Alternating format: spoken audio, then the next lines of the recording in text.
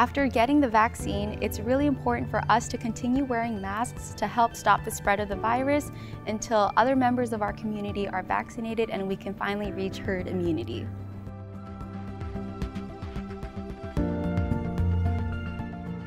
We're still learning how the vaccine will affect the spread of COVID-19. For now, it's best to continue following the same guidelines and precautions as you did before. That includes staying six feet apart from others, avoiding crowded places, using hand sanitizer, and everything else.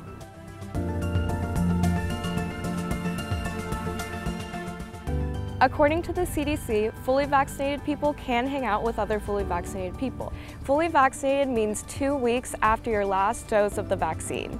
For now, until more is known, fully vaccinated people should continue to wear masks and social distance, especially in public and with others who are not fully vaccinated.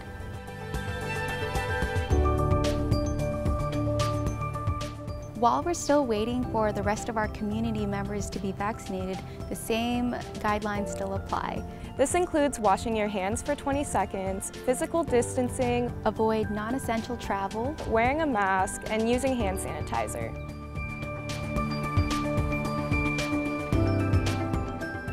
You don't have to get the vaccine, but without a vaccine, it'll take longer for our community to reach herd immunity, and it'll take longer for us to get back to fun things like in-person classes and events and gatherings.